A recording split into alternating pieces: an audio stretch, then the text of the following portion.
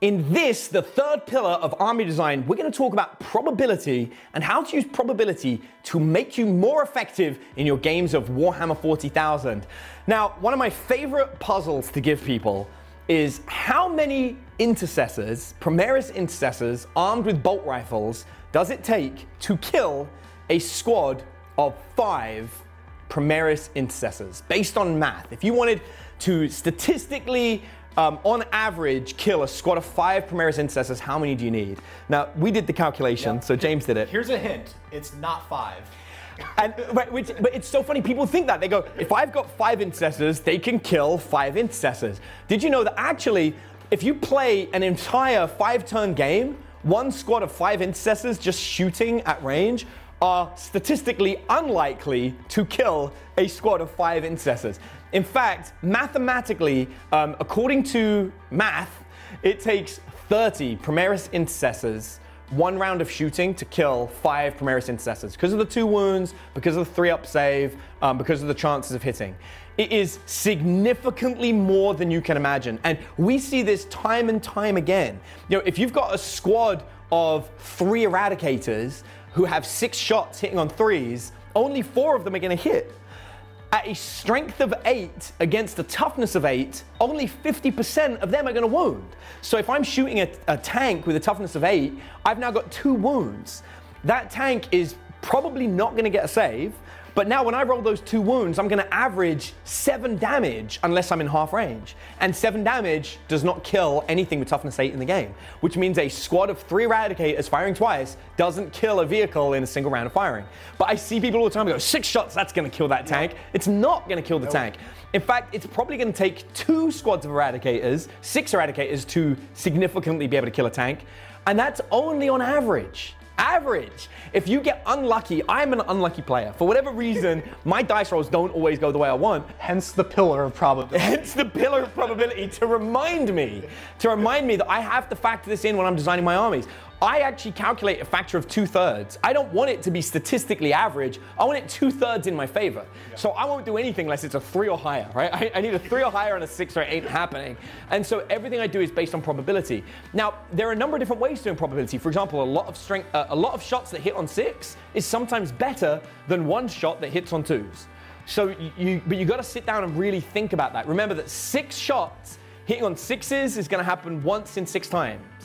One shot hitting on twos is actually not as good. Yeah, that's one third. Yeah, it's so. Or hitting on twos, that's two thirds. Yeah, exactly. So six shots hitting on sixes, one of those is probably going to happen. Whereas the alternate, one shot hitting on twos, not so good. You actually don't have as much of a chance. Yeah. Because one in six times, that's going to fail, right? So when you think like that, like, and that's how I think about all my games. Whenever I'm playing, I'm like, okay, what is the statistical chances of this actually happening? Which brings us to buffs. The key to being good in Warhammer is buffs. You want to be able to reroll ones. You want to be able to get plus one to hit. Anything you can do. Plus one to wound is more effective than almost anything in the game. Like my favorite. Because it jumps you up because of the way the chart works, right? Because a strength four against a toughness of five plus one to wound boosts you up to an effective strength of five. But strength four against the toughness of seven plus one to wound gives you an effective strength yeah. of seven. Yeah. So it's a massive jump. It's one of the most effective buffs in the game. Which brings us to probably the most underused and overpowered unit, which is the Master of Sanctity uh, for the Space Marines, the Chaplain. The chaplain for the Space Marine Army has the ability to give plus one to hit with, I think it's Catechism of Fire, um, and plus one to wound with one of his other ones. I forget the, the exact names at the moment of filming this, but the, he's got two abilities. And as a Master of Sanctity, he, uh, if, you, if you select him and give him the trait that's plus one to, uh, to perform his litanies, he will be able to perform these on a two up, which is almost always going to happen, right? In a, in a, six, in a five turn game, you got a very good chance of both of those happening every single turn. Maybe once or twice you'll miss one, but that's about it. Because they're triggered on a two or higher, they're likely to happen. Giving a unit plus one to hit and plus one to wound is so massive, um, even if you pick two different units, that it's going to significantly um, you know, impact your ability to damage your opponent and to hit them on the first turn of the game. So um, a, a chaplain with its aura buffs is one of the, or, or its selective buffs, is one of the best things you can do in the game. So whenever I'm building an army, what I'll be doing for probability is I'll be thinking, how can I have one unit buff multiple units. So an example of this again would be for my Death Watch. Um, one of my Death Watch tactics is I will pick a Death Watch captain with a jump pack and I'll give him the Relic Storm Shield. Uh, I think it's called the Aegis or something, um, the e Angelic Aegis. And what that does is it's a better Storm Shield that gives a 5 up invulnerable save to any models nearby him. And I'll surround him with six Inceptors. The Inceptors are the jump pack troops with the double plasma guns. Now, the captain's natural buff is to give them rerolls of one. Well, their plasma guns, rerolling one with plasma is always good, right? Because I can overcharge them and get a lot of shots off. But now, because of his relic, which doesn't cost me points, I've now got those Inceptors a 5 up and vulnerable save. So now, one of my most powerful units that naturally has a toughness of 5 because they're in that better armor, um, and has multiple wounds, wow. now has a 5 up invulnerable save. So I boosted their durability. So the probability of my Inceptors surviving to be able to blast with plasma and then being able to blast with that plasma and not explode is very, very high. My God. Not to mention the fact that I've also put a jump captain with a Thunderhammer and Storm Shield right next to my opponents. Now, this changes the whole way I play these guys. Because of the entire four pillars, I know the correct move is not to teleport them in. Because if I teleport them in, they only arrive on turn two, and I don't get a very hard hit. If I put them on the board on turn one, I've got the invulnerability, their natural save, and just being clever about where I position them to make sure they can't get targeted. The Inceptors stop you shooting the captain, the 5 up invulnerable save helps keep the Inceptors alive, plus they have a natural toughness of 5, plus I can put them behind cover. So the probability of them being effective on the first turn is actually pretty high. If I get the first turn of the game, I can move 12 inches, and their 18 inch range of their guns puts them in range of almost everything. Yeah. I blast with the plasma fire, re rolling ones. If I go second, my opponent might not be able to shoot me because I'm behind cover. I can jump over the cover because they fly. My invulnerable save keeps me alive if they can position into a position where they can shoot. And then I get to blast with plasma and charge with the Thunderhammer guy. So no matter what happens, the probability of me doing what I want is very high. All of this stuff I just imagine on the other side with chaos, and I'm like trembling.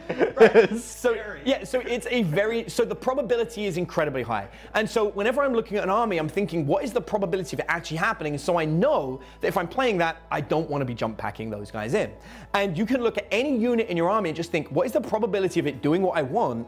And where do I need to, to make it so it's most effective? So for if I've got guys that have a short range gun, I don't want them to be able to be seen on the first turn of the game, right? So if I've got, say, a, a squad of Chosen with melter guns, they have a 12 inch range. Um, I don't want to put them out in the open where they can be seen. I'll put them behind a wall because I know I'm going to have to move to get them in range. So I may as well move them out of cover and make them just completely unshootable in the first turn of the game, right? Or, as I said earlier, put them inside a Dreadclaw like this thing here so they can't be seen on the first turn.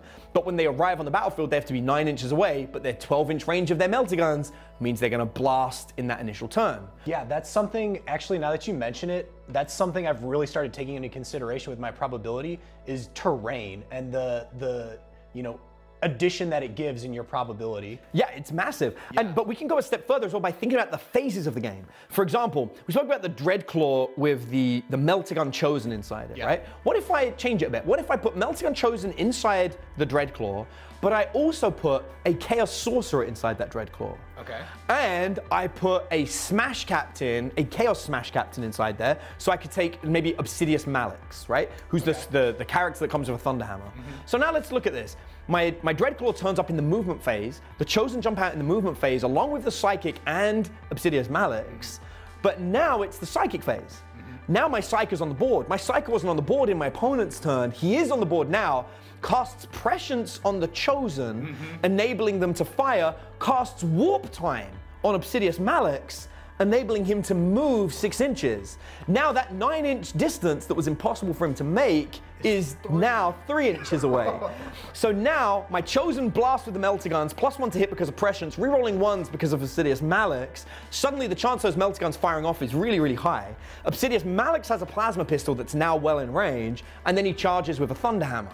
Now, I've also got that sorcerer that I could maybe charge with, or the sorcerer could have a combi melter, giving me another melter gun, which would also be rerolling ones, uh, oh no, maybe not because of core. We don't know about that. Right now it is, but when it yeah. comes out eventually, maybe not. But the point is that's a lot of melting on fire and a plasma gun and charging and a psyker. um, who use warp time and prescience to be able to be effective. And now Obsidius Mallex is touching something in close combat that doesn't get to fire in its turn. Probability of a predator firing after Obsidius Mallex charged it in close combat, very low. Now, yes, the predator can shoot Obsidius Mallex because he's in close combat, but it's going to get minus one to hit. And after he's punctured it with that Thunderhammer, the probability of it hitting on threes is low anyway. So he's probably damaged it down to hitting on fours, and with minus one to hit, it hits on fives. Even with four las cannons shooting into Obsidius Mallex, hitting on fives, we can presume only one of those las cannons might hit and even if it wounds, he has a 50-50 chance of dodging it. And even if he doesn't dodge it, it's going to statistically do 3.5 wounds, which isn't enough to kill it. No. Meaning, probability says Obsidius Maddox, Obsidius Mallex will survive close combat with that predator. Wow. So he's damaged it. He can't be shot because he's touching a predator. The predator can't kill him. If the opponent doesn't leave with that predator in close combat, Obsidius Mallex will finish off the predator in your opponent's close combat phase, Yep. allowing him to be free to charge something else. So again, that's what probability is. That is a, a great example of how that works. Um, now, every army has the ability to, to look at probability and calculate things like this, right? For example, we could look at um, the Sisters of Battle, for example. The Sisters of Battle, um, they can have multi-melters. They've got these heavy weapon uh, guns that have a ton of multi-melters. Once again, with their acts of faith, and by making sure that we put them near a Canoness to let them reroll ones, we can put them inside a rhino, we can drive them down the battlefield to make sure they're alive on the first turn of the game, your opponent can't shoot them off the board, and then we can jump out of the rhino, and we can use the Canoness to make sure they get that firepower to boost their chances of shooting. But we could go a step further. What if we wanted to be even more accurate? Remember, we're gonna get minus one to hit with the multi-melters. What if instead we took heavy flamers? Now, heavy flamers, they're a heavy weapon giving you minus one to hit when you move, but they automatically hit.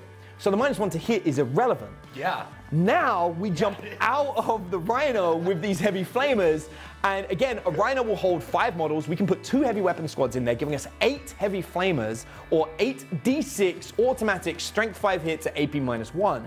That is a ton of damage against a Horde army that once again, probability of that happening is very, very high, providing we can get to the battlefield. So we put them inside a Rhino, drive down the battlefield, your opponent shoots the Rhino. Maybe they kill the Rhino, maybe they don't, it doesn't matter, because either way, next turn, out come the Sisters with heavy flamers and they annihilate anything, right?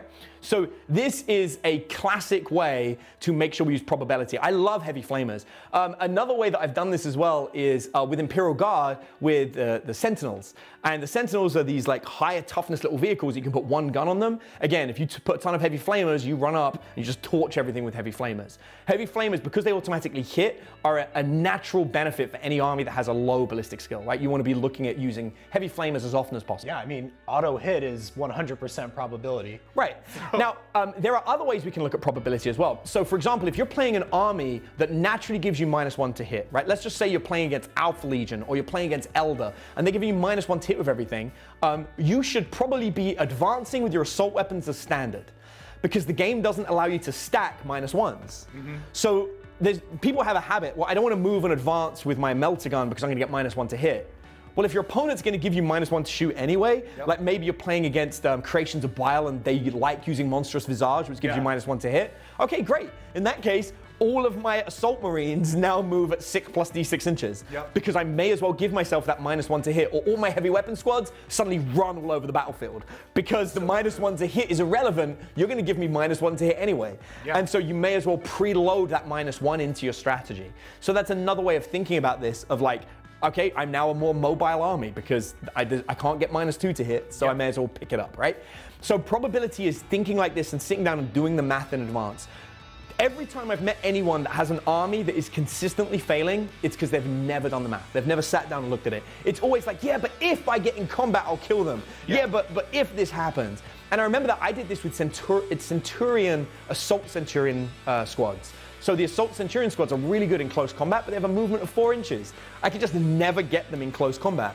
Eventually, I started putting them inside a Storm Eagle, flying down the battlefield, and then getting them out because they just weren't doing anything. When I eventually did that tactic, it was destroying people because Yeah. now they could reach.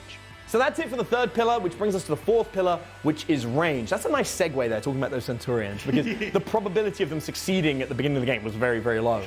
So the, the fourth pillar of army design is uh, the range part of the army design. You've got to make sure your army is effective against all three ranges. So let's look at that video.